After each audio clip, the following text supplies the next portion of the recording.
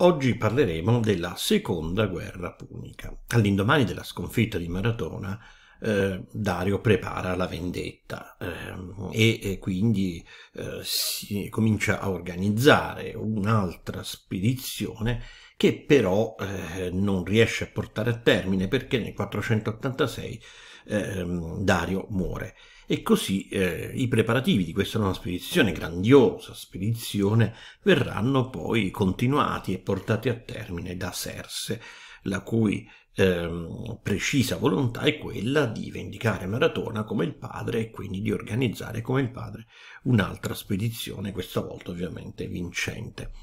E eh, invece qual è la situazione dalla parte dei greci, presso le città greche? Abbiamo visto che um, da Atene prevale il parere di Temistocle che voleva continuare la guerra, quindi nessun patto con i persiani, continua la guerra perché abbiamo sconfitto, dice Temistocle, i persiani in una battaglia, ma eh, la guerra non è vinta e soprattutto il nemico è molto temibile.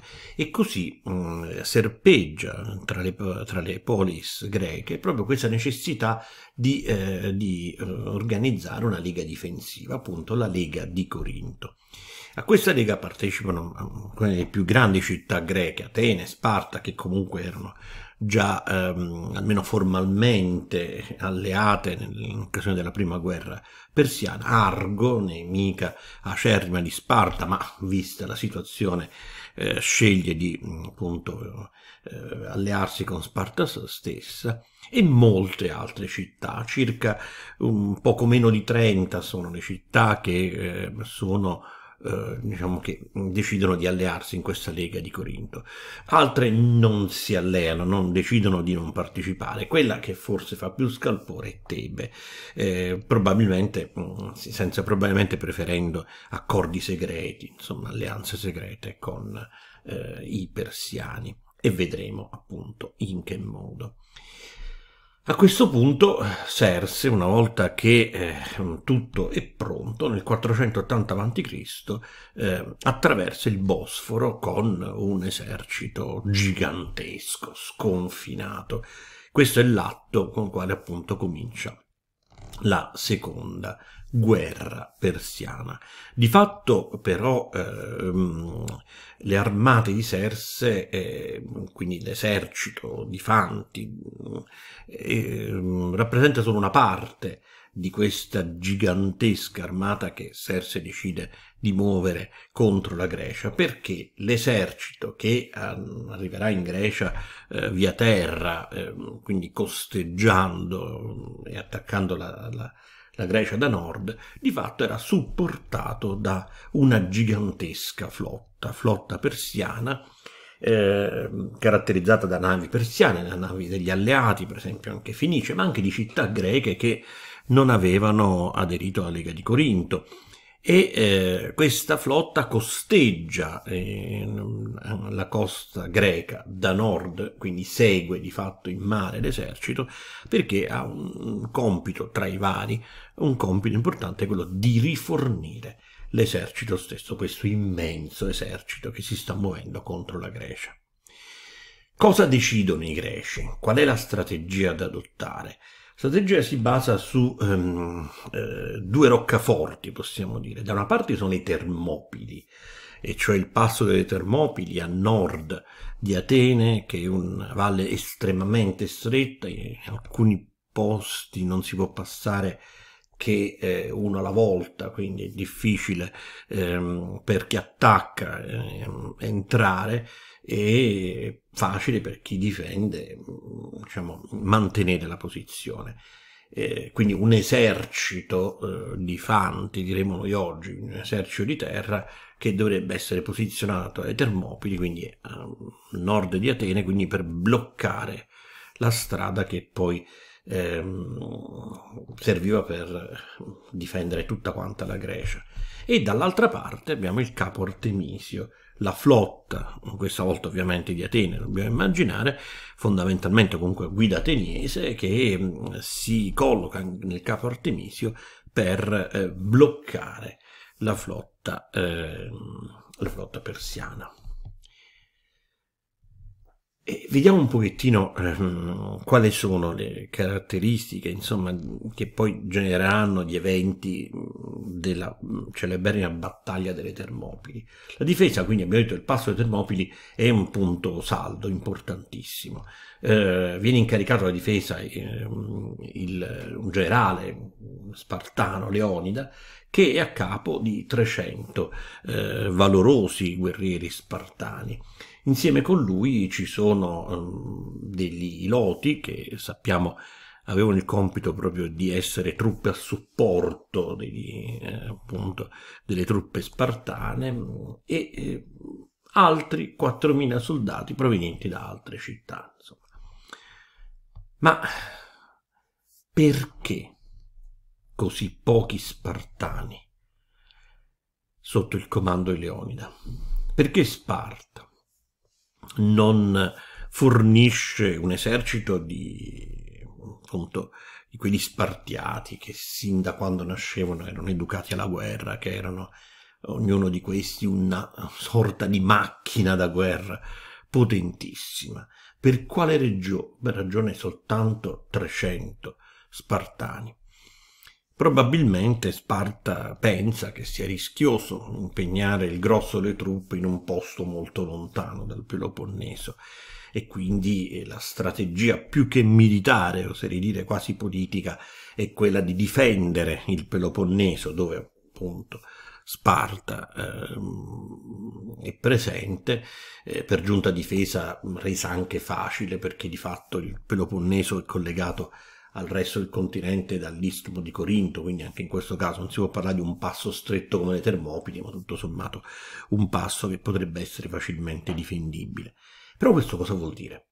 Eh, l'istmo di Corinto si trova a sud di Atene, vuol dire quindi lasciare in mano eh, dei persiani eh, non soltanto le proprie truppe, le Termopili, ma anche la stessa città di Atene. Andiamo a vedere eh, appunto come gli eventi fondamentali della battaglia delle Termopili. Siamo nel 480 a.C.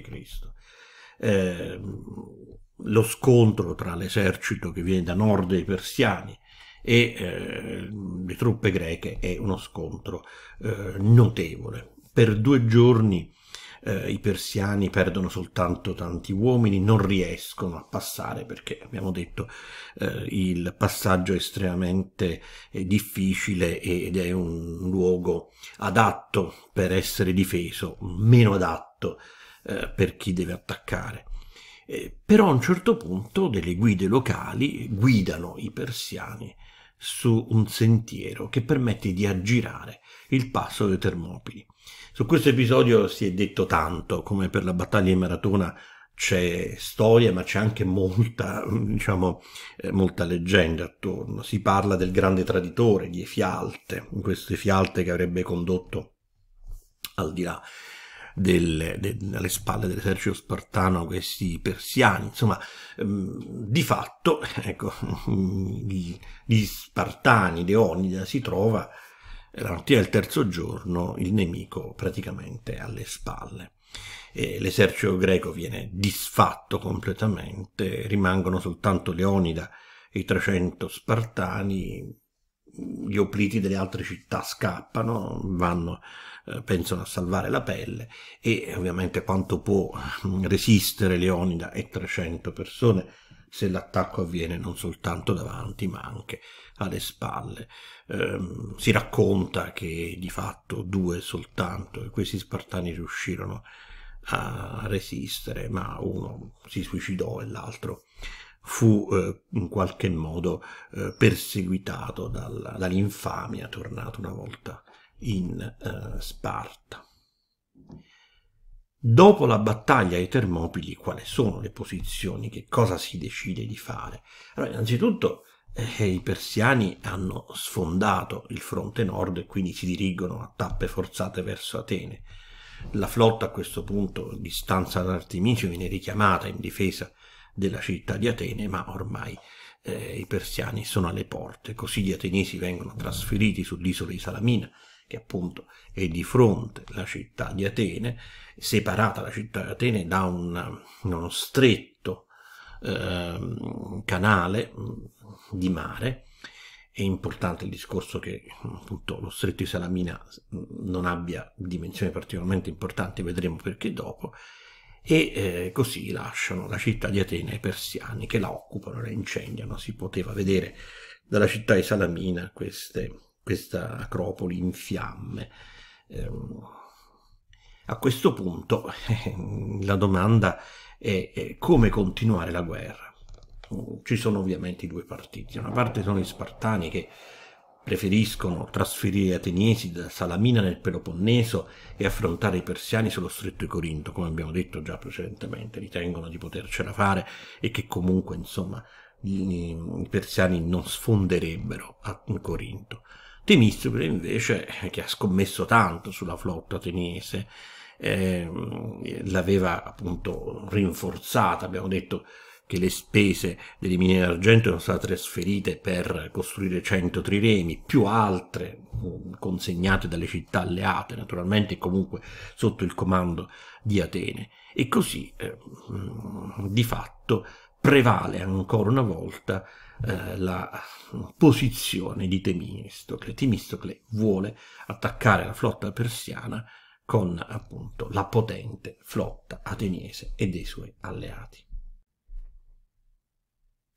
E allora andiamo a vedere come si svolge la seconda battaglia di questo 480 a.C. Dopo le Termopili, dopo la decisione comunque di concentrare la propria attenzione per le prossime operazioni strategiche sulla flotta, eh, lo scontro avverrà a Salamina. Vediamo un pochettino eh, come eh, questo scontro si articola. Noi come fonte abbiamo Erodoto, per cui dobbiamo mm, seguire quello che ci dice questo storico eh, greco. Mm, ci racconta che eh, Temistocle fece arrivare un messaggio segreto a Serse nel quale si diceva che mm, i greci erano lo sbando eh, e quindi di fatto si trovavano in una situazione eh, molto molto difficile. A questo punto eh, Serse decise non solo di credere a questo messaggio, ma decise comunque di attaccare. E che cosa succede ehm, nello stretto ehm, di mare che separa Atene da Salamina? Si racconta anche che Serse si fece costruire un trono per poter vedere questa battaglia dall'alto. Fatto sta che, insomma, mm, le navi, eh, le triremi mm, ateniesi alla guida di Temistocle, eh, indietreggiano. Indietreggiano e quindi vanno a simulare una fuga.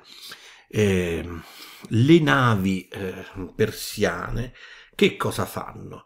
Decidono di avanzare avanzare fino a, a, entrare di fatto in questo stretto lembo di terra che separa eh, appunto il continente dall'isola di Salamina. A questo punto, eh, quando ormai è entrata gran parte della flotta eh, persiana, Temistocle dà l'ordine di ehm, cambiare rotta, quindi invertire la rotta, e le triremi eh, greche passano al contrattacco. Eh, o all'attacco decisivo perché le navi persiane eh, colpite da questa mossa, di fatto sorprese da questa mossa, cominciano a indietreggiare, eh, ma fare manovra, soprattutto per navi molto grandi, eh, ormai anche eh, usurate da mesi e mesi di navigazione, eh, fare quindi diciamo una sorta di retromarcia, quindi tornare indietro in questo stretto lembo di mare non è assolutamente facile, eh, per cui sì, le prime navi cominciano a cozzare con quelle vicine, non c'è spazio di manovra sufficiente e di fatto insomma le, si speronano a vicenda le navi persiane. Mm, ci racconta Erodoto che poi quello stretto di mare eh, caratterizzato da una quantità di, di, di legname eh, galleggiante, appunto il frutto di queste navi eh, persiane che,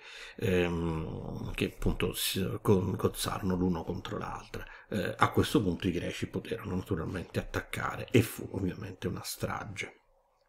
Dopo la battaglia di Salamina che cosa succede? I persiani sono quasi completamente senza flotta e questo vuol dire che non ci sono rifornimenti per l'esercito. Se vi ricordate abbiamo detto che la flotta serviva fondamentalmente per rifornire l'esercito di terra. Eh, ma mm, in Serse, nei capi persiani, c'è un'altra paura, cioè la mm, paura appunto di possibili ribellioni delle città che fino allora erano, so, erano rimaste sottomesse, avevano giurato alleanza, eh, avevano stretto patti più o meno segreti con la Persia, ma che ora, vedendo che la situazione si sta mettendo male, ehm, si temeva che potessero appunto cambiare eh, posizione. E eh, Serse così ehm, torna in Persia, lasciando in Grecia il grosso delle truppe eh, sotto il comando di Mardonio. Eh, Mardonio decide di accamparsi eh, a Platea, in Beozia, cioè eh, nel territorio della città di Tebe che ormai in maniera non più segreta, eh, di fatto è l'alleata più importante per i persiani tra le città greche. E andiamo a vedere allora, ci spostiamo di qualche mese, siamo nel 479 a.C. e proprio a Platea c'è una battaglia, un'altra battaglia importante. Pausania, che era un generale spartano, eh, attacca l'esercito persiano proprio a Platea.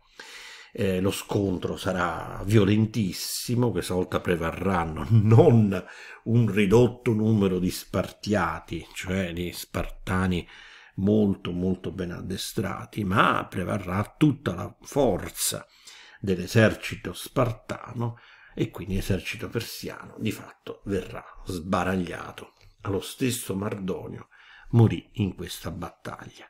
Nello, negli stessi giorni in cui l'esercito a guida spartana, l'esercito greco a guida spartana con Pausania attaccava l'esercito di Mardonio, quello persiano a Platea, negli stessi giorni, abbiamo detto, eh, davanti Capo Micale eh, si svolgeva eh, l'ultima battaglia con la quale si chiude la seconda guerra punica, cioè la battaglia di Capo Micale. Questa volta è la flotta ateniese che attacca quella, quello che era rimasto della flotta persiana e ovviamente la annienta. E eh, con questa battaglia di Capomicale, nei stessi giorni della battaglia di Platea, si conclude la seconda guerra persiana.